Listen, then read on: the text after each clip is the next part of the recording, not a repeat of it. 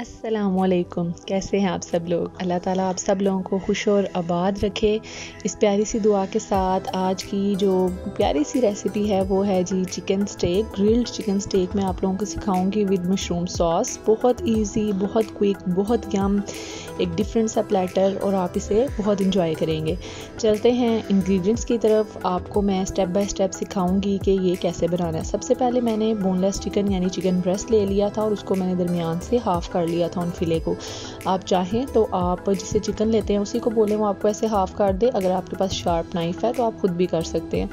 ये देखें, बिल्कुल ऐसे मैंने इसे मतलब एक पूरा जो चिकन ब्रेस्ट था, उससे फोर पीसेस जो हैं वो मैंने बना लिए हैं।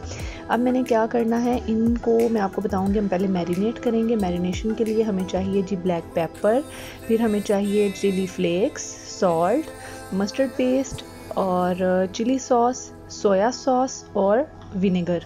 ये सब चीज़ें आपने अपने टेस्ट के अकॉर्डिंग लेनी है। मैंने तकरीबन वन वन टेबल स्पून जो है ना सॉसेज यूज़ की थी और हाफ़ हाफ़ टी स्पून जो है ना, मैंने स्पाइसेस यूज़ किए थे।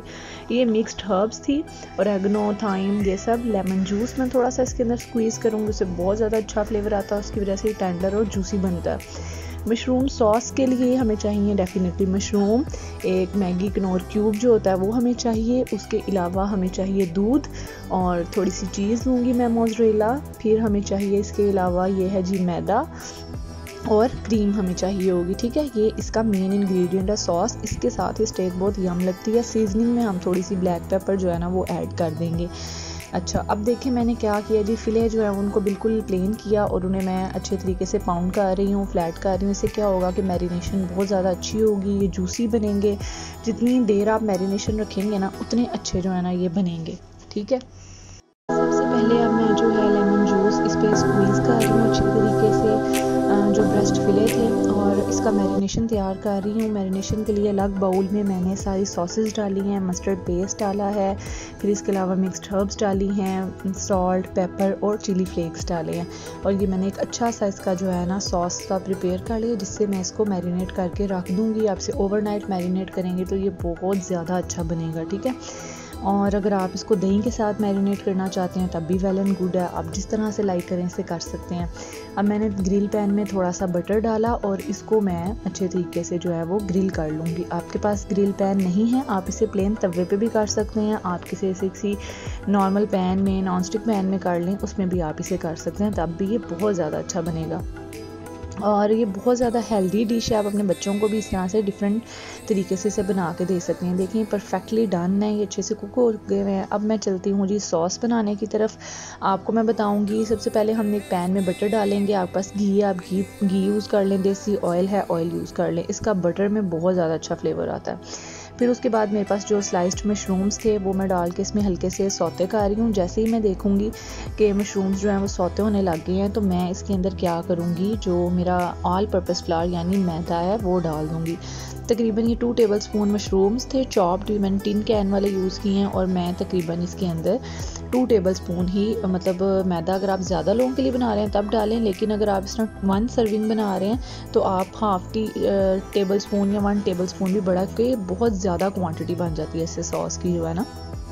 अच्छा अब ये देखें मैं इसमें थोड़ा थोड़ा जो है ना, वो दूध डालना स्टार्ट कर रही हूँ और इसे मैं जैसे ही मैदा भुन गया, ताकि अच्छे तरीके के साथ इसके अंदर वो डिज़ोल्व हो जाए और किसी भी किस्म के कोई भी जो लम्स हैं, वो ना आए। अच्छे से ये सॉस अब पकने लग गई इसकी मैंने सीजनिंग की है जी ब्लैक पेपर के साथ और थोड़ा सा पिंच ऑफ़ सॉल्ट डाला है और मैं इसमें अब जो है कनौर क्यूब वो डाल रही हूँ क्योंकि उसमें भी सॉल्ट होता है। तो आप ज़रा अपना हाथ रो के डालिएगा। देखें कितनी सी रिच अच्छी सी मज़ेदार सॉस बन गई। आप इसको स्पेगेटी वगैरह जो बनाते हैं ना, उसमें भी यूज़ कर सकते हैं। अब आपने जो फ्लेम है वो लो रखनी है और इसमें क्रीम ऐड कर देनी है। क्रीम ऐड करके ताकि वो फटे नहीं, इसको हम अच्छे से मिक्स करेंगे और लास्ट में हम इसके अंदर डाल देंगे मोजरेला चीज़ ये सॉस आपने जो है ना, तभी बनानी है जब आप ग्रिल चिकन को सर्व करने लगे या अपनी किसी भी स्टेक को सर्व करने लगे। देखें कितनी मज़ेदार सी जो है ना स्टेक तैयार हो गई है। अगर आपके पास मोजरेला चीज़ नहीं है तो प्लेन जो चीज़ स्लाइसिस होते हैं, वो भी डाल सकते हैं। एंड पे ऊपर मैंने मिक्सड हर्ब्स डाल दी हैं। स्टेक तैयार है। अब मैं इसको जो है ना, वो सॉस के साथ सर्व करने लगी हूँ। क्योंकि मैंने बच्चों के लिए बनाई थी तो इसलिए मैंने साथ थोड़ी सी फ्राइज़ भी बना लिए थे। और ताकि बच्चे जो है ना, बहुत ज़्यादा इंजॉय करके इसको खाएँ, उनके लिए एक हेल्दी मील हो जाए। आप लोग भी इसको मस्ट ट्राई करिएगा, मुझे बताइएगा फ़ीडबैक दीजिएगा। खाना हमेशा जो है ना, वो देखें सिंपल सा होता है इजी इंग्रेडिएंट्स होते हैं। आपने सिर्फ़ उसको वैरायटी और डिफरेंट वे से प्रेजेंट करना होता है। आपकी प्रेजेंटेशन जो है, खाने वाले के लिए और ज़्यादा उसे मुतासर करते उसका दिल करता है कि मैं खाऊँ।